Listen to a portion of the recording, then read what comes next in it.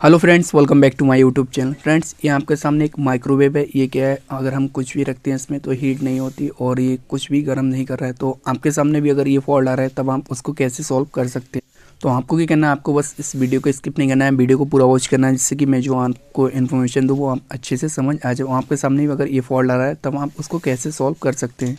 तो मोस्टली अगर हीट नहीं करता है तो मैग्नेट्रॉन ख़राब हो जाता है। इसका मैग्नेट्रॉन जो होता है, वो ख़राब हो जाता है। मोस्टली यही होता है, जो हीट गन होती है, यही ख़राब होती है।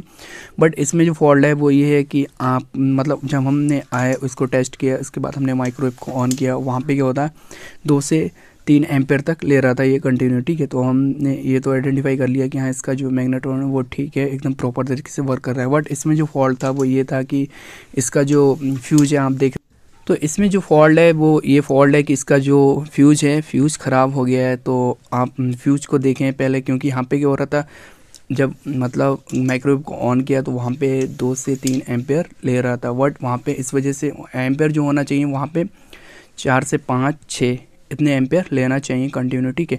बट वहाँ पे दो से तीन एम्पेयर थे, क्योंकि यहाँ पे क्या था फ्यूज का जो वायर था वो कट हो गया था, क्योंकि फ्यूज ख़राब हो गया था। फिर जो कैपेसिटर से और ट्रांसफार्मर से गुजर के जो मैग्नेट्रॉन को वो एम सप्लाई जाती है, वो वहाँ तक नहीं पहुँच रही थी। एक साइड की सप्लाई पहुँच रही थी तो आप मतलब जो सप्लाई पहुँच रही है, वहाँ पर वो एम्पेयर ले रहा है।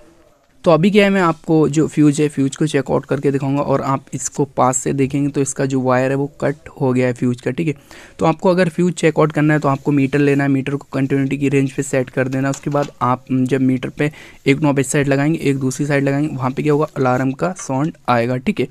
तो यहाँ पर ये वाला जो फ्यूज है, ये तो फॉल्टली है, मैं ऊपर वाला आपको चेकआउट करके दिखाता हूँ कि आप इसको कैसे चेकआउट कर सकते हैं। तो आप इस तरीके से इसको चेकआउट कर सकते हैं। आप बस मीटर को कंटिन्यूटी की रेंज पे सेट करना और ये अलार्म बीप की साउंड आएगा आपको, ठीक है? तो आप इस तरीके से चेकआउट कर सकते हैं। तो अभी क्या है, मैं इस फ्यूज में एक वायर लूँगा और आपको ये प्रैक्टिकली चेकआउट करके दिखा देंगे कि यहाँ पर जो फॉल्ट है वो फ्यूज क्या है। तो मैंने एक वायर लिया है, बाकी आपके सामने अगर ये फॉल्ट आ रहा है तो मैं अभी बस चेक कर रहा हूँ, बाकी इसका जो फ्यूज है, अभी मेरे पास अवेलेबल नहीं है तो मैं फ्यूज ला इसको चेंज कर दूँगा। तो आपको भी क्या करना आप भी एक वायर ले सकते हो और उसको चेकआउट ऐसे कर सकते हैं। तो अभी मैं आपको ये प्रैक्टिकली दिखाऊँगा और आपके सामने ये जो फॉल्ट है वो सॉल्व हो जाएगा। तो एक वायर है, मैंने अटैच कर दिया इसको। बाकी अब मैं इसको, जो माइक्रोवेव है, इसको ऑन करता हूँ और किलोमीटर को मैं लगा देता हूँ कि एम्पेयर इसमें शो हो जाएँगे। बाकी आपको पानी गर्म करके भी दिखाऊँगा।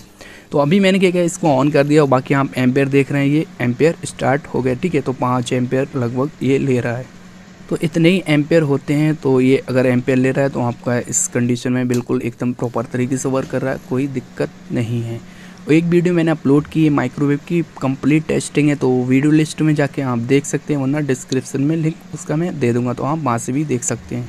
तो फ्रेंड्स, आप देख रहे हैं यहाँ पर जो पानी है, पानी भी एकदम गर्म हो गया है, कोई दिक्कत नहीं है, अच्छे से गर्म हो गया और एम्पेयर भी ठीक ले रहा है। तो अभी क्या है, एकदम ओके कंडीशन में बस हमको जो फ्यूज है फ्यूज न्यू चेंज करना है। तो आपके सामने भी अगर ये फॉल्ट आ रहा है तो हम आप इसको ऐसे सॉल्व कर सकते हैं। फ्रेंड्स, वीडियो कैसी लगी? वीडियो अच्छी लगी, वीडियो को लाइक कर दो, चैनल पर न्यू विज़िट किया चैनल को सब्सक्राइब कर दो। Thank you for watching